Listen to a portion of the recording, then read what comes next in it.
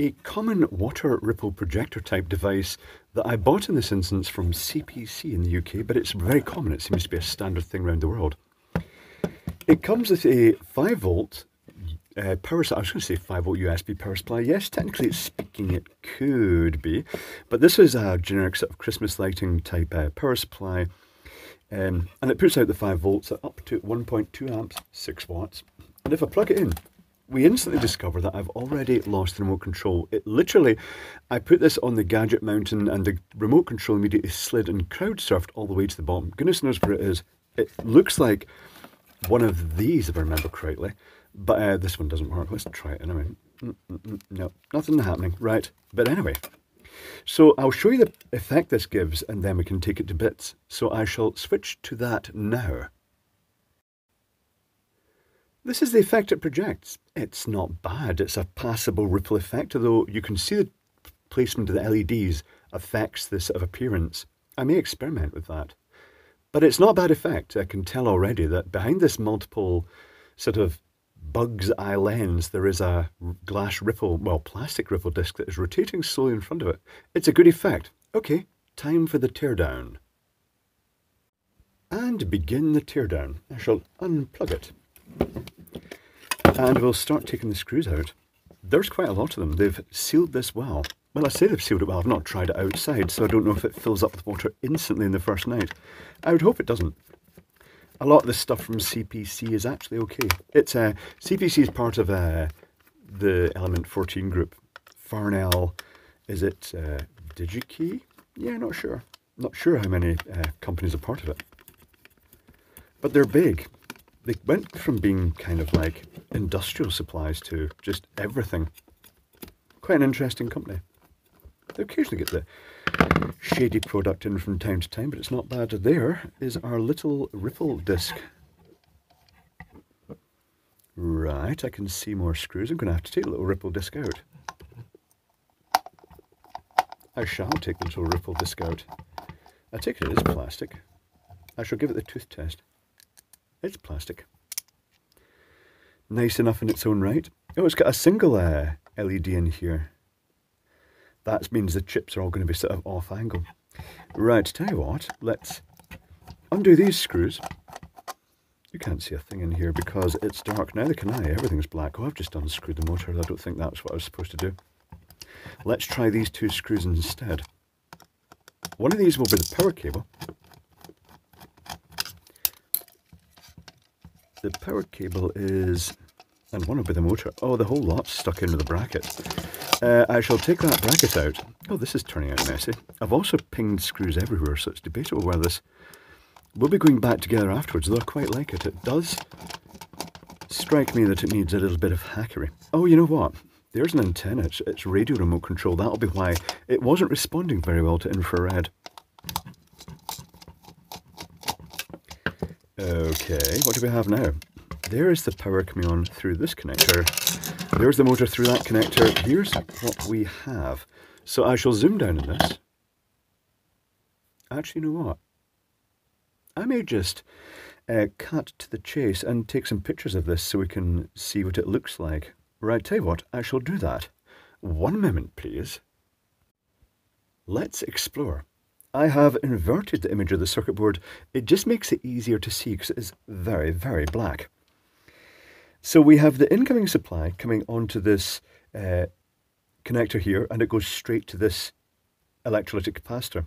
It then goes through this Schottky diode over to this capacitor and I thought they would maybe be filtering it out a little bit with that diode to provide a local supply for things like the RF circuitry and the microcontroller. But in reality, everything is powered from this capacitor here at that slightly reduced voltage.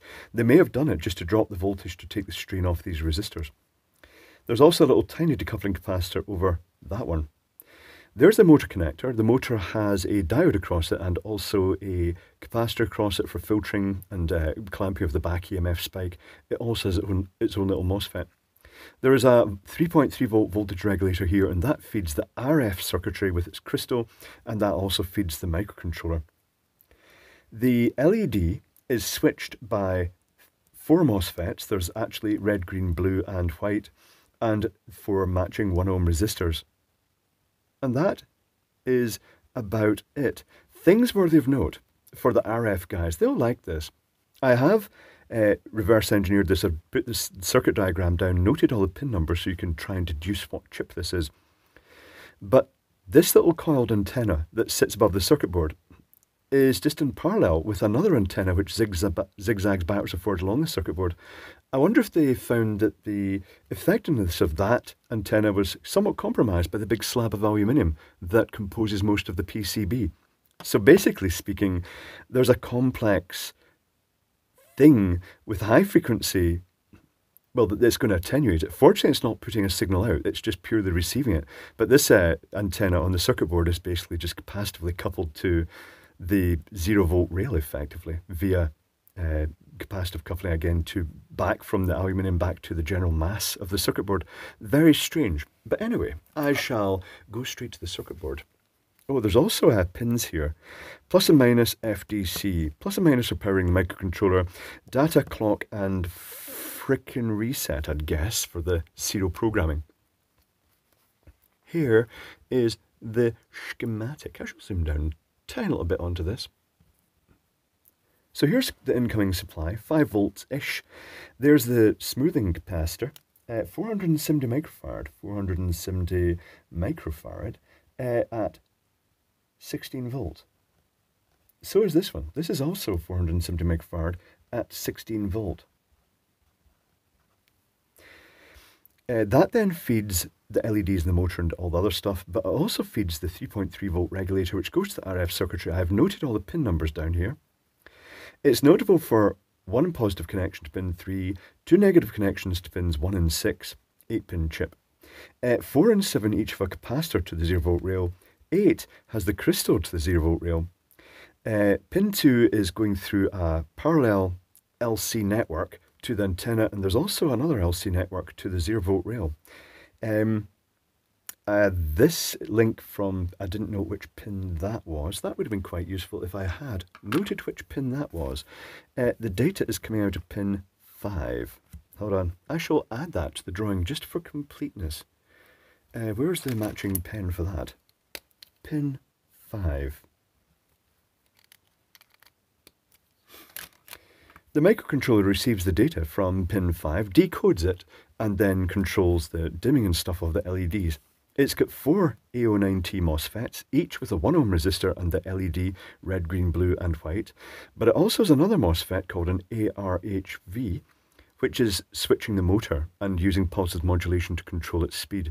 And it has the back EMF diode and also the little capacitor for filtering across it. And that is it. Not a super duper complicated circuit, fairly logical, nothing really radical. This little decoupling capacitor is in the vicinity of the microcontroller. Um, yeah, that's it. So it's an interesting effect. It is very typical of these type of things. Uh, the nicest things about this are the motor with this little pattern disc. Uh, lots of grease everywhere. Or grease if you live in a country which says grease. And then this uh, insect eye type lens. Very interesting. Oh, I'm going to shine a light through this. Oh yeah, lots of lots of light patterns. I do think it'd be quite interesting putting an LED on either side of this so that one pattern's going up and the other's going down. But I wonder if separating them too much is going to splash splash them too far apart in this. Although if they were both the same colour, it would compensate for that.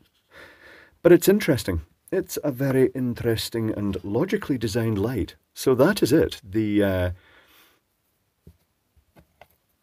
water ripple projector light that runs off that little classic Christmas light style power supply, but putting out 5 volts. Quite neat, not bad at all.